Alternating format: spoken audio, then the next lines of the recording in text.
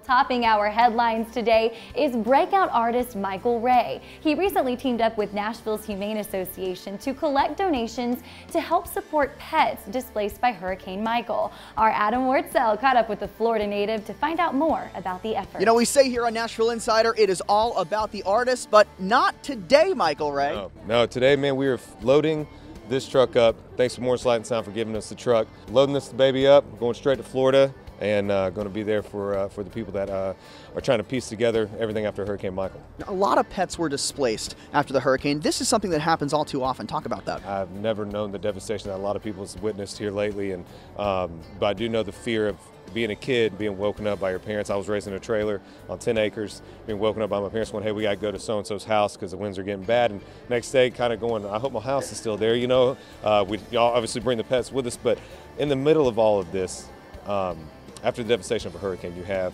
people left wondering what to do. You have animals wondering where to go. They're lost from their, their loved ones, and uh, and then they get picked up. And the humane societies and the rescue shelters um, have an overflow of animals that they need our help. They need donations. They're, they solely depend on people giving as much as they can. And so when this uh, was going on, I wanted to figure out how I could help and how we could gather everybody together. Because when you ask country music fans to come together for people in need, everybody comes together and grows. You've been a, an animal lover your whole life, and you have an animal charity. Talk about Wrigley Cares. You know, my family's always been. Uh, you know people that rescued animals that you know growing up in the country you see a lot of them that get out of the fence and you my dad was the guy that would take them and you know figure out where they you know whose home they were in and, and we'd hold them hold them at home for a little while until we found out where they're supposed to be and so uh, it's just something that I grew up around loving and, and I think that you know we've been able to give a get, have a platform where we can reach a lot of people with a post with a with a share with whatever it may be and uh, and this is this is proof of it. We hope that no animal is the one that got away. there is a segue to yes. your new single, one Thank that you. absolutely one that got away. Uh, I want to talk about the song because it's a very catchy song and a music video that was clearly shot somewhere very fun. It was a lot of fun. Yeah, we shot the music video in the heart of Miami.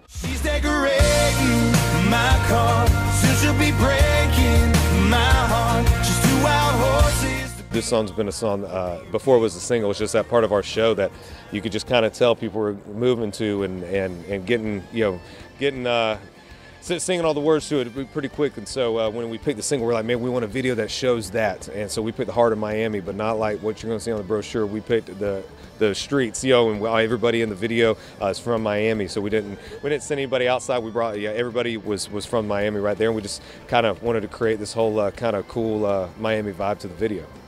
I love it. For all of our friends in Miami, hello. And I will say this uh, Fangirl and One That Got Away, first two tracks in the album. What a, what a fun start to that album. Thank you, man. Thank you. I appreciate it. And we appreciate all the work you're doing here. Thank you, buddy. Thanks, Michael.